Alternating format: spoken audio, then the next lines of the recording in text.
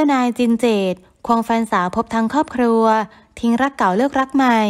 นางเอกสาวดาวรุ่งจูเน่เพลินพิชา โกมารชุน ตอบถึงความจิ้นกับหนุ่ม เจ้านายจินเจษฎ์วรรธนะสินที่ดูสนิทสนม จากคู่จิ้น มีภาพหวานวันวาเลนไทน์ที่กรุงลอนดอน ตกลงขยับสถานะหรือยัง เจ้านายก็เป็นเพื่อนสนิทเหมือนที่นายก็พูดกับหลายๆคน เราได้เล่นซีรีส์ด้วยกัน แล้วก็มีโอกาสทำโปรเจกต์ แปะหัวใจด้วยกันต่อเมื่อปีที่แล้ว ก็เหมือนได้ทำความรู้จักเขาใหม่ เพิ่งรู้ว่ามีหลายอย่างที่คล้ายกันนะ เพื่อนก็เป็นเพื่อนกัน เลยเหมือนได้เพื่อนอีกคนเพิ่มขึ้นมาค่ะ ที่ผ่านมาก็เลยกลายเป็นว่าหลายครั้ง เราก็ปรึกษาเขาเหมือนสลับกันปรึกษาเป็นแฟนกันไหม หนูเข้าใจนะ หลายคนอาจจะคิดใช่ไหม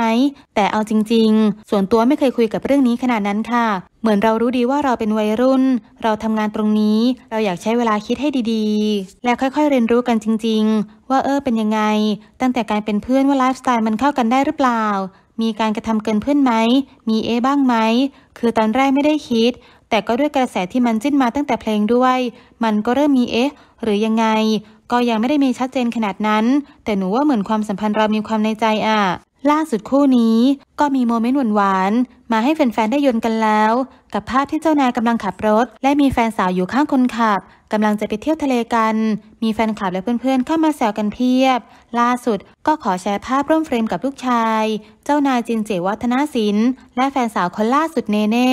ที่พากันไปกินข้าวก่อนแชร์รูปเป็นที่ระลึก งานนี้ดูท่าคุณแม่จะปลื้มใจ